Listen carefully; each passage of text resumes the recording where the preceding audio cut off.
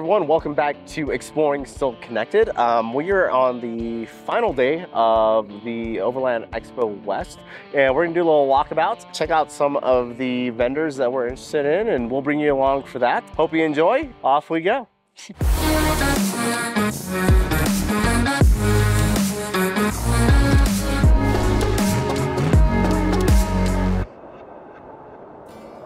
Right, welcome. So we're here at the Benchmade booth. I'm here with John, um, and I'm really interested in their cutlery set. They have uh, some fantastic knives here I'm really interested in. I'd love to have something like this station knife in our camper as we're full-time on the road, but I need to learn a little bit more about it. So I think, John, can you give us an overview of what Benchmade is doing for the cutlery world? Yeah, of course. So I'll start with the station knife, and really the goal here was to kind of give you the entire sort of knife roll's worth of utility in one knife. So save you a little bit of space, kind of simplify things for you, but still give you that versatility to be able to, you know, use it as a cleaver, use it as a chef's knife, and even do, you know, things like coring a tomato or something like. So obviously, especially like, you know, where we are, Overland Expo, you know, we want to do something that's versatile, you know, something that is durable. So um, all of our products, but especially when we started getting into kitchen cutlery, we want to be durable. Yeah. So we're talking about, you know, using the best materials um, and offering the same uh, warranty and free sharpening for life that we offer on all of our knives. So we did a lot of homework. We spent a lot of years developing our kitchen cutlery. We obviously, you know, have the three-piece set that kind of gives you that classic, you know, chef knife, utility knife, paring knife. And that's for people, obviously, you know, who are used to using knives, maybe aren't feeling quite as adventurous as going with a station knife, want something they know mm-hmm. works. And so we obviously want to offer that. But the station knife is really where it's at in terms of versatility. Yeah. And all of this is fully customizable. You build these on our website. There's two different blade steels, three different blade finishes, three different handle materials, lots of different color options. You can even choose uh, a color for the pivot ring. Oh, cool. Yeah, so that's all built on our website. You know, it takes about two weeks delivery time we really wanted to make sure that we got it right when we got into kitchen cutlery. So making sure that we're getting all the basics right, but doing it the Benchmade way and making sure that they're durable enough for being used out here, outdoors, um, but also great inside your kitchen. Um, do you guys have any other uh, knives that would fit into the kitchen cutlery range or are you planning to expand? There's one more and I'll show that, it's over here. So this is the Meat Crafter. So we first launched the Meat Crafter um, for field use. Yep. So uh, a hybrid hunting knife that you can also take into the kitchen. But we've also added it to our cutlery line, so this is fully customizable as well, just like the rest of these are. The nice thing about the Meat Crafter is how flexible it is. You know, it's meant to be super tough, but it's also great for bringing it into the kitchen and doing all of your meat prep tasks. I even use it while I'm serving, you know, slicing meat and stuff like that. This has sort of become my personal go-to kitchen knife. Nice. So we are um, working and going towards being full-time on the road, living out of a truck camper, what would you recommend for someone that's gonna be full-time, maybe a smaller kitchen, you know, still room to prep and, and dice and everything like that? What would you suggest to our viewers in, in those situations? I would definitely say the station knife. And that's because, like I said, it's kind of meant to do a little bit of everything that the three-piece set does, but in a smaller form factor, obviously save you a lot of space. A really cool combo would also be the station knife plus the meat crafter. Yeah. You kind of have the, you know, everything covered with those two knives um, if you're trying to save space. Um, these are all sharpened with our proprietary select edge sharpening process. You're getting an ultra fine smooth edge um, that's optimized for push cutting and for durability. Perfect. So you could use this in the field if you wanted to, and it's gonna hold up just like our outdoor knives or our hunting fixed blades or any of those. Good to know. Yeah. Awesome. Well, thank you very much. I appreciate your time. This is a, a fantastic product line. I'm looking forward to it, and hopefully, I mean, not hopefully, I'm pretty sure soon we're gonna have one of these um, in our home. So awesome. Thanks for following along. Yeah, it's my pleasure. Yeah. We're here with Ryan from X Overland.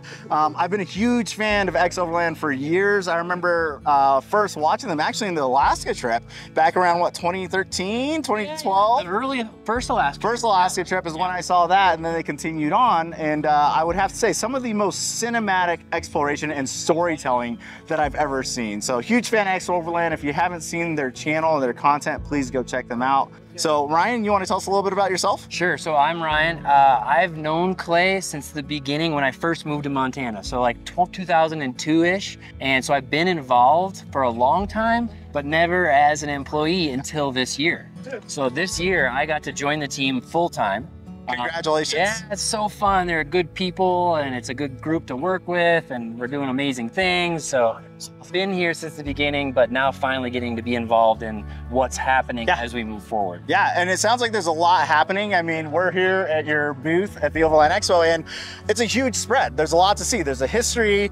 Um, you know, you have your rigs, and your vehicles. I think you helped build out a lot of these vehicles here. Yeah, And yep. you know, the next chapter to come, which is what I'm kind of excited about. I think you're gonna give us a, an overview. Yeah, But you know, give us that little rundown of what X Overland is, the Yep. goal, and then where we're going. Okay, so X Overland exists right here to inspire people to boldly explore the world, which is fun to be at a, an event like this because everybody that comes up and says, you inspired me to do X. You're like, Yeah. yes, that's exactly what we're trying to do. Exactly. Uh, more people doing this thing, seeing the world. Uh, we wholly believe that when people get out of their house Yeah. and explore the world, especially when they go to different countries, that they literally become better people. Exactly. open the doors to like who people are and different types of people. Yeah. So I think exploring the world really is it's the gateway to a better world in general. 100% agree with you. So that's what we want to do, and we want to do more of it, which is why we're trying to get X Overland to be not just about making cool videos, but also bringing people in Yeah. to see more of it. So that's what this next chapter event here is. So we're with our own app on the Overlander network. So it's a, you know, you download it off the Play Store or whatever. Yep. Um, it's a subscription based app. Your subscription is basically going to be funding X Overland to bring in more content creators and to create more content of our own. So this list is the things we're going to be doing on our network. Okay. And then we'll work our way down to the end where we're bringing other creators in to also produce content on our network. Awesome. So this is a big list. There's a lot Yeah. of things here. What are you most excited about on this list? On this list, um, so I will be involved a lot in the shop talk stuff. So my role, I'm the operations director. Yeah. Which means I change the light bulbs and change the oil Yeah. and build the trucks. You keep things running. yes. There you go. It's a Yeah. very important job. Don't let anyone downplay that. That's right. so you'll see me in shop talks. I'm on podcasts occasionally. We just like talked about power management, so I'm on that podcast. Um, the network is going to house kind of all of this stuff.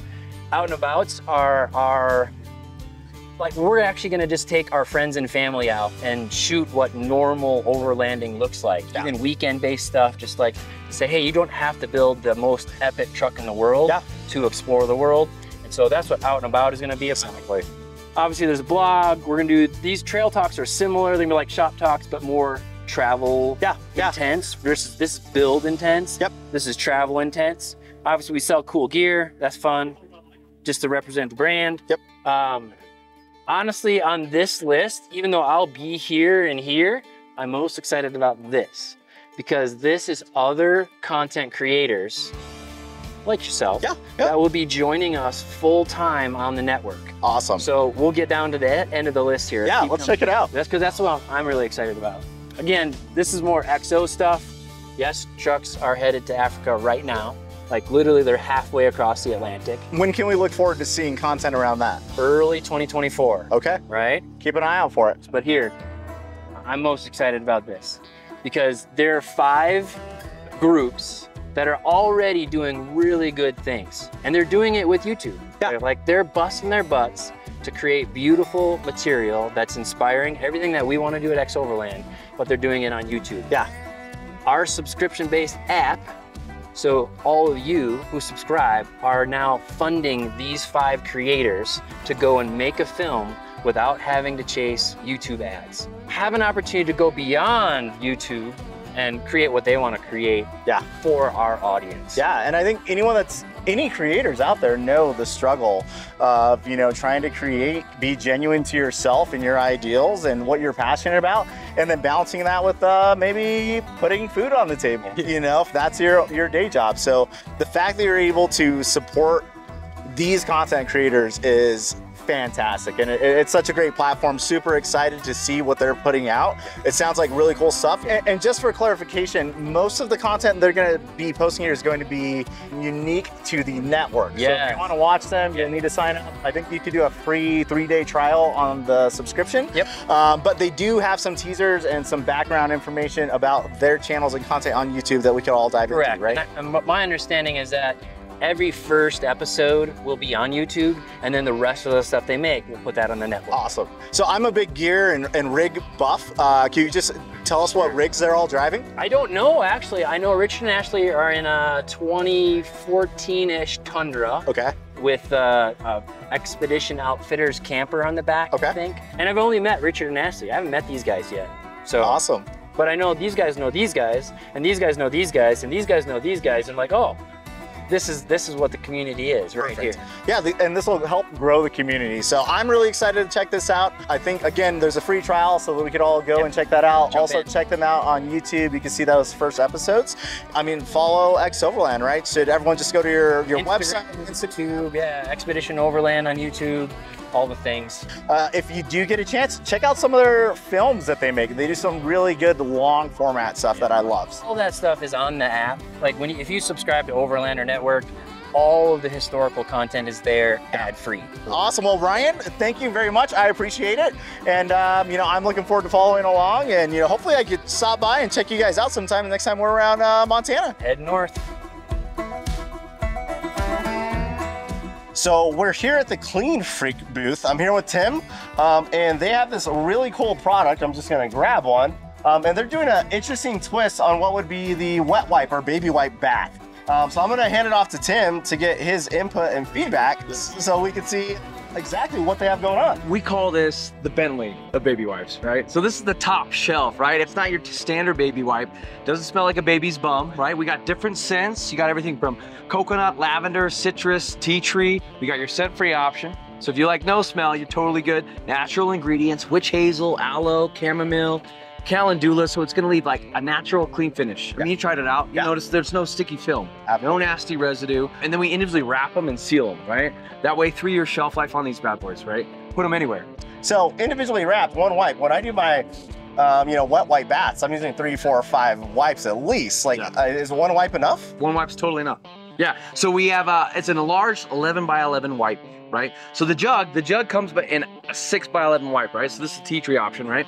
So you're 6 by 11 here, and then we doubled the size of the individually wrapped ones, right? Okay. Plenty enough wipe for it, right? You start with your face, work your way down, totally safe. Yeah. Perfect. Plenty, but Great. efficient, right? And small enough to where you can put this literally anywhere. I love mountain biking. Every time I get off the trail, my legs are covered in dirt, mud, maybe Yeah. my face is covered in Yeah, mud. for sure. You know, that'd be really easy. Just throw in the pocket, fanny pack, and then Yeah, wipe totally things off. Yeah, make that drive home a little bit more tolerable.